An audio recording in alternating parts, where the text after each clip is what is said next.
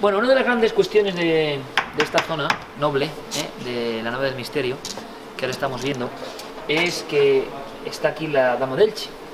Hay muchos objetos misteriosos, ¿no? Gracias al arte de Juan Villa, pero ¿por qué la Dama del Elche? Me preguntan algunos.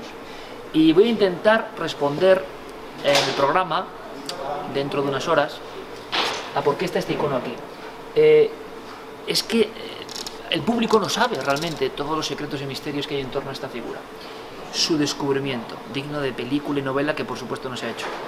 Em, ¿Quién es la dama de Elche? ¿Quién eres? ¿Quién eres? ¿Quién representas?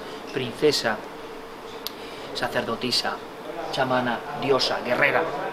Pero es que además en su mirada ha habido un embrujamiento que ha podido con artistas, con personajes, Himmler, Heinrich Himmler, ni más ni menos, en un programa que debemos hablar de nazis precisamente, la adoraba, ¿no? Eh, hubo una operación de alguna manera para llevársela con ellos.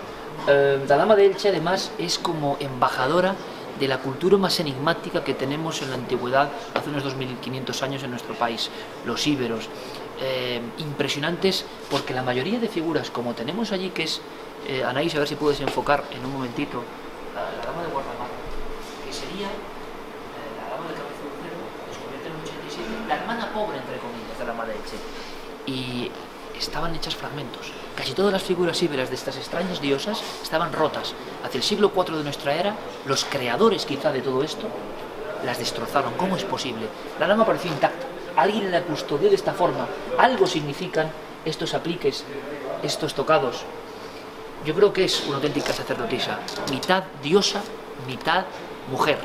Eh, y quizá también representa la madre diosa, la madre tierra, la madre de todos en su esplendor. Por eso nos sigue embrujando, porque le pertenecemos también, ¿no? Vamos a contar todos los secretos de nuestra guardiana.